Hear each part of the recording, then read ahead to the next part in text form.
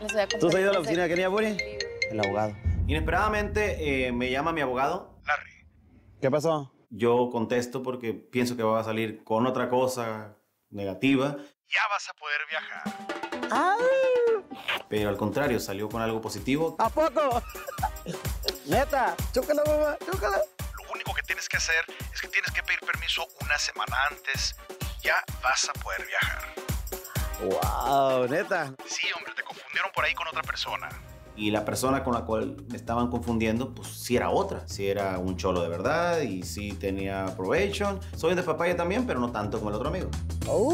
Uh, Gracias a Dios que ya se resolvió esto y Larry sí va a poder ir a Nogales a recibir a su hermano porque si no, no me lo hubiera imaginado. Es algo que él tanto ha estado esperando. qué bueno, la neta, muchas gracias. Gracias. Dale, después le voy a dar unos mariscos por todo el trabajo que hizo. Bueno, por fin me siento pues muy contento. Esta noticia pues también me llena mucho de alegría. Como vamos a ir a México, tenemos que ir para que conozca a tu tío Mochomo. Y el poder viajar a México, el cuando salga mi hermano, recogerlo, estar con él, abrazarlo No lo conoces, ¿verdad, amor? No. y trabajar en todo Estados Unidos, pues a mí me llena mucho de alegría eso. Después de noticias malas llegan noticias buenas. ¿A dónde vamos ahora? Y también estoy muy contenta porque ya por fin vamos a poder viajar, ir a lugares donde no hemos conocido. Vamos a cenar un ratito, te voy a cenar por No, pero ¿a favor, dónde noticias. vamos a viajar?